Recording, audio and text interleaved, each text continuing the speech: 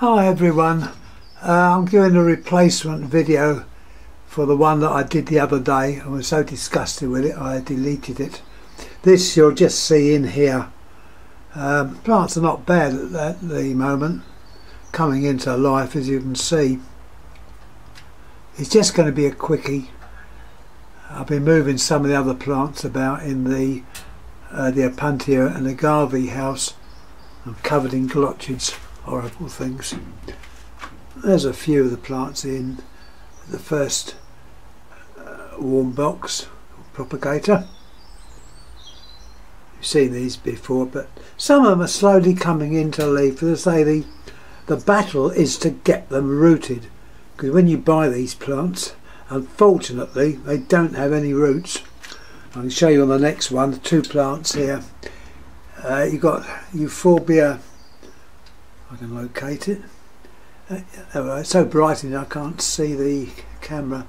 Um, yeah, Bupleurifolia and Trichadenia, uh, both euphorbias, both not a scrap of root on them. I'm trying to root them in uh, this um, volcanic type mixture. I know you can use a certain cat, uh, yeah, certain cat litter. I believe Tesco's do one. It's, I understand it's in in a pink uh, container or bag, but I've I've never done this yet.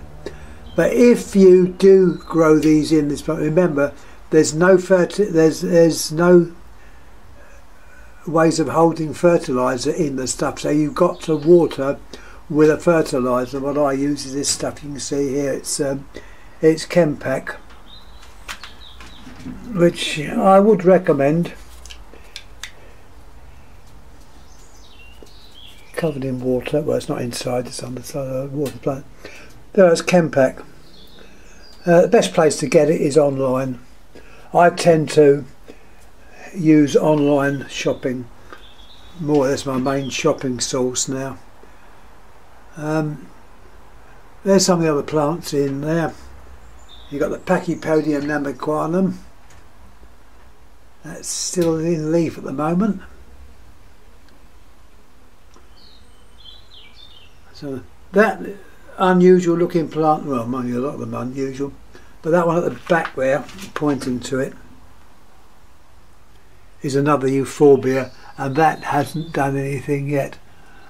It costs a, an arm and a leg by the way. But I've got to ease up on the on buying things. I want to save a bit of money for the holidays which I'm looking forward to. Looking forward to really well you know. Yeah move on to the cacti. At the back there you've got the Tephrocactus Opuntias remember those so-and-sos have glochids there's a larger uh, larger padded Opuntia that's a, uh, Pantia siculata, which means needle-like spines. A siculata. Some uh, cultivar agaves, I think they are, yeah. Two there. I've noticed the plant in the front there, the Pantia, that's starting to show some signs of growth. Well, more than showing, it's doing some growth.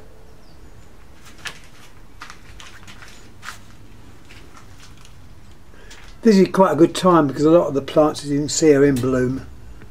You've got disco cactus in bloom, uh, another Lophophora in bloom. I'm hoping I'm pointing it in the right direction because this greenhouse is so bright you hardly see the screen. Lophophora, another one in the front there. I rather like Lophophoras. One we're looking at now is Uebelmannia. Uebelmannia named after Mr. Uebelmann of Switzerland, and pectinifera. Pectin means a comb, referring, I think, to the fact that it's like the teeth of, of a comb. I think that's what it, what it means, but definitely it means comb-like. Pectinifera. There's a few more Opuntias, Tephrocactus they do tend to grow okay in here. Uh, I've had a couple of losses to be expected I suppose really. That this one I, I don't know why it's done that. This is um, Euphorbia susannae. I've tried everything to clean off that blinking white stuff. There's also on another one.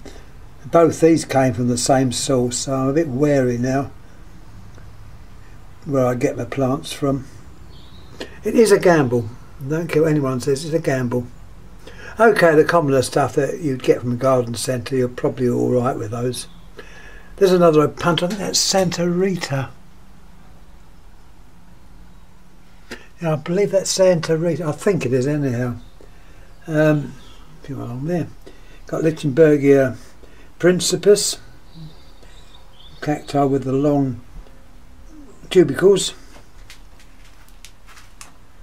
I managed to get some of the Lowii through. There's Euphorbia, um, Echeveria lowii. They're a tricky plant to grow. They don't like excess water.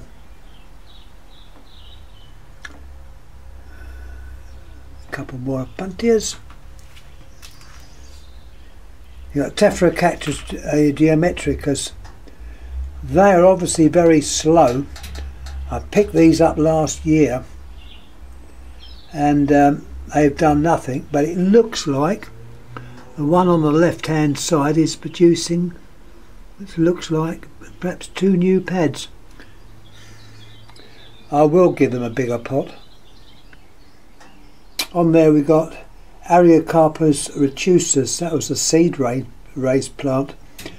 That was one I won at um, the local auction I went in there, I said, oh, I never win.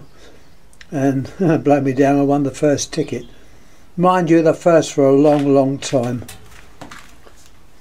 At the back there, we've got Crassula pyramidalis. That is a slow grower, but I'm pleased with it. It's um, done quite well, it's doing quite well. The little grains you see on top though is not top dressing. It's good old slug bait because where I live there's lots of slugs. And they're a curse a real curse. Moving further on some older plants. Uh, you've got here this plant's new to me. I'm hoping I haven't checked that it's got a root. It's Euphorbia Len Newtoni now I know Len of many years ago uh, he's in Nairobi, is he? He's certainly in one of the countries in uh, continent of Africa. A very clever man, and I have known him since I was virtually a kid. As I said before, I was a kid once. Some say I still am. Um, probably am. There's a grafted plant there. That's um, an astrophytum, astro meaning star-like. And look what we have here. This is my horse crippler. Echinocactus, I always forget the name, texensis. Echinocactus texensis. With that name it must come from Texas. And the common name is horse crippler. And when you look at it, got very, very strong spines and I suppose they could cripple a horse. But look, look in the middle there. It's going to flower. So when the flower comes out, I'll take a picture of it. Shouldn't be too long. Surprising how quick they pop up. The um, aloe variegatas have virtually finished, well, have, have almost finished their flowering. We won't look at the lithops. There's still a sore point with me at the moment. And rotten compost sold by a very well-known garden centre, which I'm not allowed to name them, but they are allowed to poison my, I mean he swore then, poison my plants. Which they have done. So I would say to anyone, uh, this is obviously in England, if you buy compost, don't buy it from a god, uh, from a do-it-yourself shop or store, um, because it could be the same contaminated stuff that I got, and it's caused me nothing but trouble. Go to a proper garden centre I think you'll pay the same price, but at least in the garden centre they do know what they well, hopefully know what they're talking about. There's my other uh, other lowie but they're very tricky. Avoid, if possible, getting water at the base of the leaves. That would be a very quick way of um, seeing the plant off. There's that um, euphorbia again, Susanne with that white stuff on it. I've tried everything to get rid of it. And I'm blowed if I'm going to uh, if I'm going to remove any of the growths or heads because it would just ruin the plant. And let's look at the plants at the top there. We've got some more Tephrocactus opuntias. I believe that first one is Invicta. Look at all, all the new growths on it. They love it here. This greenhouse does get a lot of sun. And I'm well pleased. I moved a couple of these uh, about because they were touching one another. I try, if possible, to not have them touching because they do have some nasty spines. And as I can tell you now, my hand, I just moved a larger punty out of the other house and uh, I'm afraid the air was a little bit blue at the time. It was definitely a little bit blue at the time and I ended up being covered in glochids which are nasty barbed spines or they appear at the base of, of the spines that the puntias have got and they are horrible. You have to get them out with a tweezer or if your fingernails are any good those and quickly pass over the mesems. I will stay a stop on the on there. I do like my uh, Heri um, Meyerophytum meyeri. As I said before, this was named after the same gentleman, Pastor G. Meyer. Um, they do well, these do. I think it's probably because they do get a lot of sun. This um, conophyllum don't look too close at. It was covered, I'm ashamed to say, in mealybug. I just didn't notice it. I suppose when you get to my age, the eyes are not as good as they should be. Although I've had my cataracts done, so I can't use that as an excuse. But I used to counteract, you can't get a decent insecticide now. You can't buy malathion. You can't buy Fowler's uh, mealybug destroyer. You can't buy Rogor. The stuff you buy now is basically crap. So what you can do is mix your own. Get some washing up liquid. Fairy's quite a good one. Mix it, mix it with water. Add a chinosol tablet. That's uh, 8 hydroxyquinoline sulfate. You can buy it online through a dealer in Germany because I don't think it's available over here. They'll probably try and stop that as well. They're trying to, I believe they're trying to stop slug bait. Soon you'll have your plants just being eaten by all, all and sundry or killed off. But anyway, we got on there to say my uh, conophyllums, mitrophyllums, and uh, I'm hoping I've killed off all the mealybugs what it tends to do, it, it suffocates them. What a lovely thought. Um, and they die. Sorry, I'm not normally nasty like that, but you know, you have to be a bit hard on certain things. And the plant we're looking at now is Phyllobolus resurgens, and it's got uh, seed pods but before you all say, oh, that's good, they're probably hybrid because I've only got one of these that are in bloom. the other one at the back there isn't doing that well. Well, it's doing well, but it hasn't. It hasn't obliged. Yeah, I'm nearly done in here. Um, yeah, there's the lithops. And yeah, I'll show you what this bloody pest does.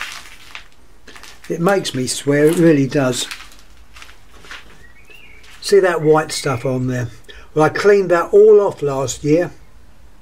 This is why they're a bit lush, because I used the, uh, the power of the hose. And this year, it's come back. Well, that, ladies and gentlemen, is using a John Innes compost from a very well-known garden centre which I'm not allowed to name. But as I said before I'm allowed to buy it and allow it to kill my plants. I tell you what I nearly gave the hob I nearly gave the hobby up. I do a lot on lamps. I suppose my two main hobbies well I've got too many hobbies. Um, I do collect vintage light bulbs which is not as unusual as it sounds. Uh, my best friend does the same. And uh, we spend a lot of time going through eBay contacting each other, what we do constantly and letting each other know what is on eBay. Do we want to buy them? Do we want to leave them there? So that in itself it is a very good hobby. But linked to that yeah, I do the certain antiques as well, barometers, telephones, uh, old radios. In fact, next month in May, we've got the uh, communications fair. This is held up north near, I think it's in Warwickshire, which I must go to that because that is very good. And in fact, it was there I bought a whole lamp collection. All right, it was, well, I say it wasn't cheap from what I got it was cheap and um, I'm well pleased with them so as I say the hobbies keep me alive I think if I didn't have a hobby I'd crawl in a corner and drop dead but it's you know it's rein it's reinvigorated certain things but as I say these I was bitterly disappointed with um, even spraying with um, the mix I use. It doesn't seem to harm the plants. Unfortunately, it doesn't seem, seem to harm that bloody white stuff. So remember, buy any compost from a good, reputable garden centre, not a do-it-yourself place. What it is, they use, or I think, they use household waste mixed in to make the compost up. And you're basically buying a load of crap.